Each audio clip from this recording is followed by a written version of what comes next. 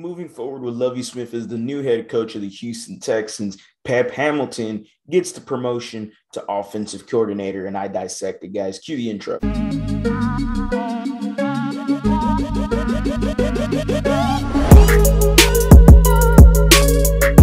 What is going on, everybody? Welcome back to a brand new episode of The Lead. Your host, is always, Harley Dugan. Pep Hamilton gets the promotion to offensive coordinator from quarterbacks coach. He stays with the Texans. And to me, this is a huge, huge win for the Texans and Lovie Smith, especially. Lovie was a guy in Chicago that extremely struggled with who could be his offensive coordinator. In one year, they had Mike Martz, who said, You know, I don't really need a tight end, and decided to trade Greg Olsen, who was pretty much their number one offensive target for Jay Cutler. So that is something that Lovie Smith, let's just say, has not done well in that criteria. So what I'm hoping for is look, he's going to call plays defensively, whatever. Okay, I'm, I'm with the head coaching hire. I'm a Texan fan first, and then I'll let my opinions uh, stray from there. But Pep Hamilton is the offensive coordinator for the Houston Texans, like I originally said. Ultimate dub, the continuity between him and Davis Mills going all the way back to Stanford should be a huge win for the Texans, and it makes Lovie Smith's job hopefully easier. Pep Hamilton bringing in a guy who in the tight ends coach, and I can't really say his name, Tim Berbinovich, I think it was, or something like that.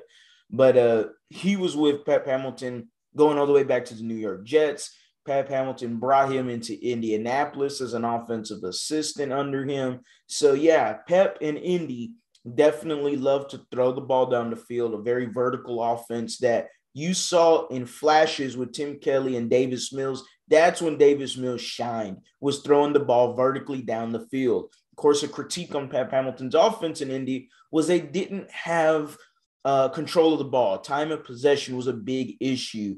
They'd score real fast, uh, red zone issues as well. Uh, they did lead the league with yards per drive. They had 37 yards per drive. Uh, they were a league leading 15 touchdowns of more than 20 yards. Now they did have T.Y. Hilton to patch with a Andrew Luck, so that obviously helped too. But this is something that there has to be a balance with the Houston Texans, and that's why running back should has to be something to look into whether the draft, whether free agency, however they want to do. Somebody like a Ronald Jones who could fit well with the Houston Texans. You got Rex Burkhead. I think Burkhead, as long as you use him as a third down back, I have no problem with that. The guy could pick up a blitz really well. He does great in pass protection for Davis Mills or whoever quarterback he's with.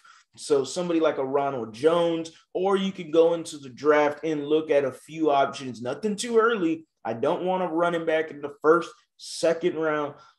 I might allow it in the third round this year just because of Pep Hamilton's struggle of time of possession and ultimately creating the quarterback to draw more turnovers because you're passing the ball so damn much. Hopefully, we don't see that a lot with Davis Mills, and hopefully, Pep Hamilton could create a more balanced offense, but I do love the vertical offense. I do love that he's willing to fling it and throw it down the field. That's what supposedly his offense can be. I'm just drawing conclusions from Indianapolis at this point. So that's it for today's video, guys. Make sure to like, comment, subscribe, hit that bell for the notice to turn on. Drop your comments, your reactions down below in the comment section. Let me know what do you think, guys? Pep Hamilton as the offensive coordinator for the Houston Texans. This is definitely a huge win for Lovie Smith and a huger win for Davis Mills. You keep the continuity and you let Lovie Smith focus on the defense, who he's had a track record of building really good defenses. I have no question in that. I do question the scheme, but hey, get the right players in here and let's see how this can happen. As always, guys,